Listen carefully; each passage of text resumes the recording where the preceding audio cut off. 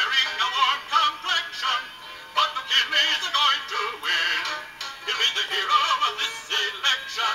The way he'll be there will be a sin. He will smash him to such perfection, they can never get up again. Mac and Teddy are going to win this political fight, and that is right. Cause the question that no